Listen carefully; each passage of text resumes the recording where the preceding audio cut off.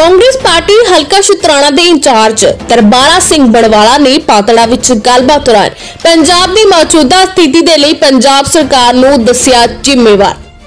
ਪੰਜਾਬ ਦੇ ਵਿੱਚ ਆਮ ਆਦਮੀ ਪਾਰਟੀ ਦੀ ਸਰਕਾਰ ਫੇਲ ਸਾਬਿਤ ਹੋਈ ਹੈ ਅਤੇ ਪੰਜਾਬ ਦੇ ਵਿਗੜਦੇ ਹਾਲਾਤਾਂ ਦੇ ਲਈ ਪੰਜਾਬ ਦੀ ਆਮ ਆਦਮੀ ਪਾਰਟੀ ਦੀ ਸਰਕਾਰ ਜ਼ਿੰਮੇਵਾਰ ਹੈ।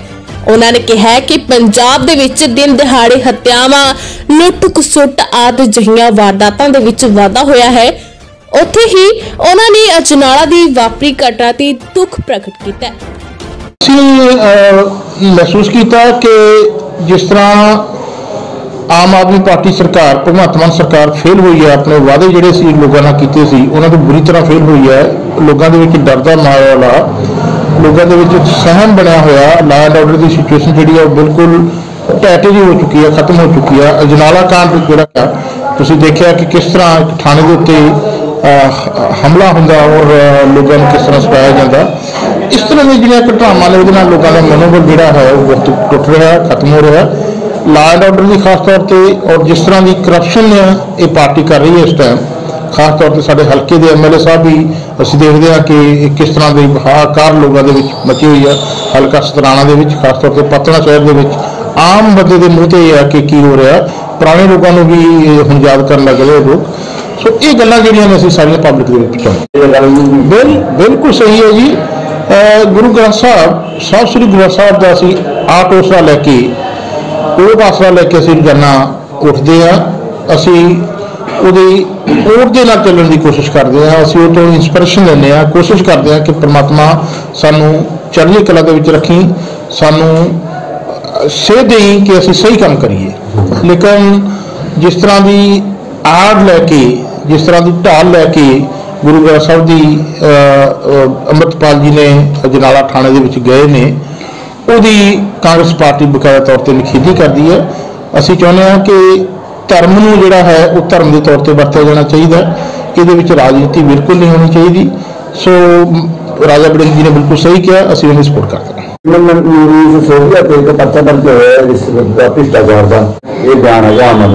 ਸਤਪਾਲ ਜੀ ਤੁਸੀਂ ਬਹੁਤ ਸੀਨੀਅਰ ਪੱਤਰਕਾਰ ਹੋ। ਮੈਂ ਐਕਸਾਈਜ਼ ਐਂਡ ਟੈਕਸੇਸ਼ਨ ਦੇ ਵਿੱਚੋਂ ਰਿਟਾਇਰਡ ਹਾਂ।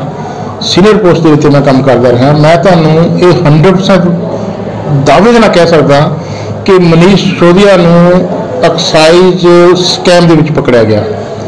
दारू ਦੇ ਸਕੈਮ ਦੇ ਵਿੱਚ ਪਕੜਿਆ ਗਿਆ। ਬਿਲਕੁਲ ਸਹੀ ਪਕੜਿਆ ਗਿਆ ਉਹਨੂੰ। ਔਰ ਲਗਭਗ 5 ਮਹੀਨੇ ਤੋਂ ਪਹਿਲਾਂ ਇਹ ਜਿਹੜੀ ਪ੍ਰੂਵ ਆ, ਜਿਹੜੀ ਇਹ ਇਨਵੈਸਟੀਗੇਸ਼ਨ ਚੱਲ ਰਹੀ ਸੀ। ਉਹਨੇ ਜਿਹੜੀ ਇਨਵੈਸਟੀਗੇਟਿੰਗ ਏਜੰਸੀ ਸੀ ਵੀ ਉਹਨੂੰ ਪੂਰੇ 5 ਮਹੀਨੇ ਦੇ ਵਿੱਚ ਇਹਨੂੰ ਪ੍ਰੋਪਰਲੀ ਇਨਵੈਸਟੀਗੇਟ ਕਰਕੇ ਜਿਹੜਾ ਹੈ ਉਹ ਉਹਨੂੰ ਪਕੜਿਆ। ਮੈਂ ਤੁਹਾਨੂੰ ਛੋਟੀ ਜਿਹੀ ਗੱਲ ਦੱਸਣੀ ਚਾਹਣਾ ਕਿ ਇੱਕ ਕਲੌਜ਼ ਉਹਦੇ ਵਿੱਚ ਪਾਈ ਸੀ ਕਿ ਠੇਕੇਦਾਰ ਨੂੰ, ਸਿਰਫ ਦੋ ਦੋ ਪਾਰਟੀਆਂ ਨੂੰ ਠੇਕੇ ਦਿੱਤੇ ਸੀ ਕਿ ਠੇਕੇਦਾਰ ਨੂੰ 12% ਮੁਨਾਫਾ ਦਿੱਤਾ ਜਾਊਗਾ।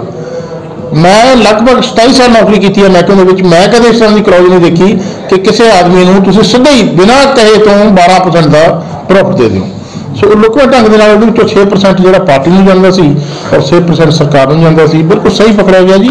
ਉਹ ਉਹ ਬਿਲਕੁਲ ਝੂਠ ਬੋਲ ਰਿਹਾ। ਆਮ ਆਦਮੀ ਦਾ ਜਿਹੜਾ ਦਾਵਾ ਸੀ ਭ੍ਰਿਸ਼ਟਾਚਾਰੀ ਖਤਮ ਕਰਦਾ ਲੱਗਦਾ ਵੀ ਕਾਂਗਰਸ ਦੇ ਨਾਲ ਸੰਬੰਧਿਤ ਗੱਲਾਂ ਵੀ ਇਹਨਾਂ ਦਾ ਆਪਣਾ ਜਿੰਨਾ ਕੀਤੀ ਜਾਣ ਲੱਗਦਾ ਮੈਂ ਉਹ ਇਹ- ਕਾਰਨ ਹੈ ਨਾ ਜੀ ਕਿ ਇਹਨਾਂ ਦੇ ਤਿੰਨ ਚਾਰ ਬੰਦੇ ਦਾ ਇਸ ਤਰ੍ਹਾਂ ਜੇਲ੍ਹ 'ਚ ਬੈਠੇ ਨੇ ਇੱਕ ਇਹਨਾਂ ਦਾ ਰਤਨ ਪਕੜਿਆ ਗਿਆ ਚਾਰ ਪਰਸੋਂ ਚੌਥ। ਠੀਕ ਹੈ ਨਾ ਜੀ? ਸੋ ਜਿਸ ਤਰ੍ਹਾਂ ਜਿਸ ਤਰ੍ਹਾਂ ਟਾਈਮ ਲੰਘੂਗਾ ਆਪਣੇ ਆਪ ਹੀ ਪਤਾ ਲੱਗੂਗਾ।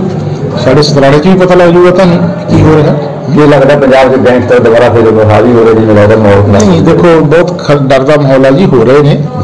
ਔਰ ਸਰਕਾਰ ਨੂੰ ਚਾਹੀਦਾ ਸੀਐਮ ਸਾਹਿਬ ਨੂੰ ਸਾਡੇ ਨੂੰ ਪਾਰਟਿਕੂਲਰਲੀ ਚਾਹੀਦਾ ਕਿ ਉਹ ਪੰਜਾਬ ਦੇ ਵਿੱਚ ਰਹਿਣ ਜੀ। ਪੰਜਾਬ ਨੂੰ ਕੋਸ਼ਿਸ਼ ਕਰਨ ਕਿਸੇ ਤਰ੍ਹਾਂ ਹੱਲ ਕਰਨ ਦੀ ਉਹ ਹਦਾਇਤਾਂ ਨਾ ਲੈਣ ਅਹ, ਕੇਜਰੀਵਾਲ ਤੋਂ ਹਰ ਗੱਲ ਦੀ। ਅਹ, ਗਵਰਨਰ ਦੇ ਨਾਲ ਬਿਨਾਂ ਬਗਾ ਬਿਨਾਂ ਵਜ੍ਹਾ ਕਨਸਟੀਟਿਊਸ਼ਨਲ ਅਥਾਰਟੀ ਦੇ ਨਾਲ ਟੱਕਰ ਲਈ ਬੈਠੇ ਨੇ ਉਹਦਾ ਪੰਜਾਬ ਨੂੰ ਕੀ ਫਾਇਦਾ ਹੋਣਾ? ਜੀ।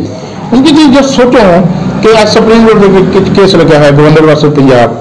ਉਹਦੇ ਵਿੱਚ ਕਰੋੜਾਂ ਰੁਪਏ ਫੀਸ ਜਿਹੜੀ ਆ ਉਹ ਵਕੀਲਾਂ ਲੈਣੀ ਆ। ਜਿਹਦੇ ਵਿੱਚ ਮੇਰਾ ਹਿੱਸਾ ਵੀ ਆ, ਸਾਡੇ ਗੁਰਤੇਜ ਜੀ ਦਾ ਵੀ ਹਿੱਸਾ, ਸਾਡੇ ਜਿੰਨੇ ਵਰਕਰ ਸਾਹਿਬਾਨ ਅਫਸਰ ਸਾਡੇ ਲੀਡਰ ਸਾਹਿਬਾਨ ਬੈਠੇ, ਸਭ ਦੇ ਪੈਸੇ ਜਿਹੜੇ ਆ ਉੱਥੇ ਲੱਗਣੇ ਨੇ। ਜੇਕਰ ਉਹਦੇ ਨਾਲ ਤੁਸੀਂ ਕੋਆਰਡੀਨੇਸ਼ਨ ਰੱਖੋ, ਤਾਂ ਇਹ ਇਹ ਜ਼ਰੂਰਤ ਹੀ ਨਹੀਂ। ਸੀਐਮ ਸਾਹਿਬ ਉਹਦੀ ਬਜਾਏ ਹੋਰ ਕੰਮ ਕਰਨ। ਸੋ ਸੀਐਮ ਸਾਹਿਬ ਨੂੰ ਆਪ ਕੰਮ ਕਰਨਾ ਚਾਹੀਦਾ। ਉਹਨਾਂ ਨੂੰ ਕੇਜਰੀਵਾਲ ਸਾਹਿਬ ਵੱਲ ਨਹੀਂ ਦੇਖਣਾ ਚਾਹੀਦਾ।